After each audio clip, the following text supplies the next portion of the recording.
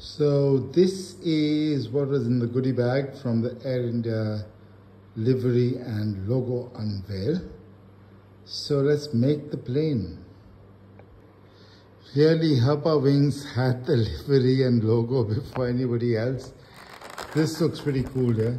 I mean, um, big lettering, big Air India. This is a new font, it's called Air India Sans. Um, that's the tail with the design with the chakra on the, the design element. And uh, now let's make the plane.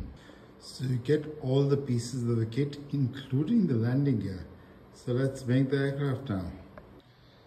I don't know about you but that's one hell of a nice looking 787 model